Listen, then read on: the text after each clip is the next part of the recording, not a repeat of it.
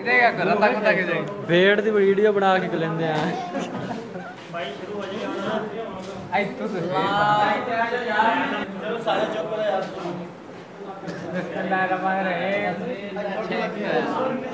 ਤਸਵੀਰ ਛਿੱਕੀ ਤੇ ਮੇਰੇ ਮੋਬਾਈਲ ਤੋਂ ਉੱਤੇ। ਓਏ ਤਸਵੀਰਾਂ ਇੱਥੇ ਹਨ ਯਾਰ ਇੱਥੇ ਕਿ ਤਸਵੀਰਾਂ ਆਉਂਦੀਆਂ ਲੱਗਦੇ ਬੰਦੇ ਆ। ਅੱਗੇ ਕਾਲੀ ਧੋਤੇ ਤੇ ਗੱਦੀਆਂ ਨੇ। ਲੈ ਕਰਤਾ ਨਾ ਹੁਣ ਟੈਨਸ਼ਨ ਨਹੀਂ ਕਾਏ ਥੋੜੇ ਥੋੜੇ ਰਾਏ